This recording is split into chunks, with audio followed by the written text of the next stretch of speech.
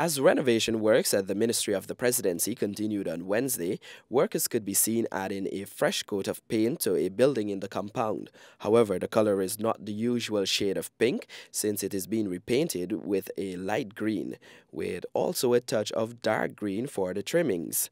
A new fence is also being erected at the Shiv Chanderpaul Drive border entrance to the Ministry of the Presidency, along with rehabilitation works to most of the buildings.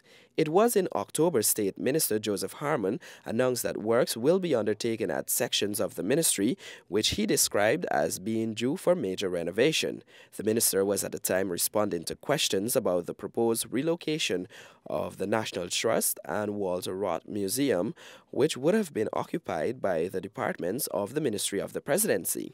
This building here in which we are is due for major renovation works. The cabinet room itself is, is cramped and so there's to be some extension to the cabinet room, which will in fact affect the function of the office of the president. After the relocation announcement of these two facilities was made, it was not long before many persons started voicing their concerns about the decision. However, following much public outcry, the decision was then put on hold concerning the Walter Roth Museum, as the president's publicity unit is currently occupying the National Trust building. After losing the general elections in 2015, some opposition members of the People's Progressive Party (Civic) has expressed concern about what they call party colors being used by the new administration.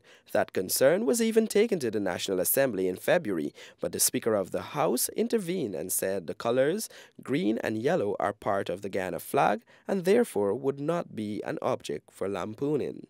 Mark Murray, Newsroom.